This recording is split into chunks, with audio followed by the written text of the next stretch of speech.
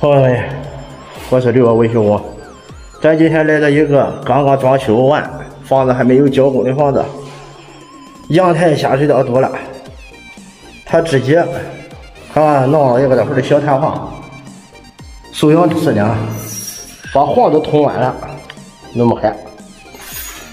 也就是说啊，这个装修啊是个非常要注意这个地方，就是你这个装修人多干活，一定把下水道先堵上，弄到口上堵上。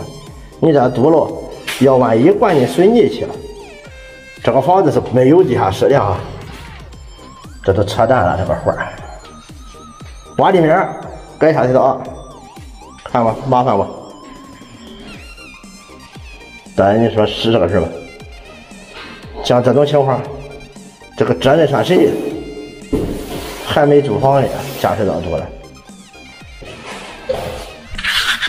这个下水道啊，大家看一下，这个下水道我给它机器通通不出来，后来用夹子给它夹出来的这些东西，全部都是装修时的垃圾，应该建筑时的垃圾。像这种情况非常难通开，因为它下边有大块的小块的。并且它这个管是五零的最细的下水道管，它掉进去以后，它拐不弯些，根本当机械都通不过去。这个活是个难活。俺那个下水道在屋里，在那个屋里通出来，终于这里淌水了。哎呀，可不能，可不能，可不能！好多石头，没别的大东西，但是光烂石头。水泥渣，装修用的那些东西，看把往外流着的。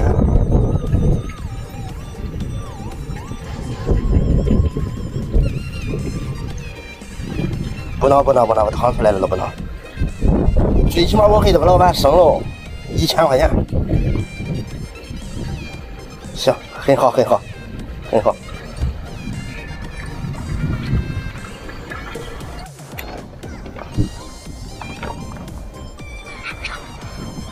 这个活是从这这地下，还没有地下室，直接埋过去的这个管，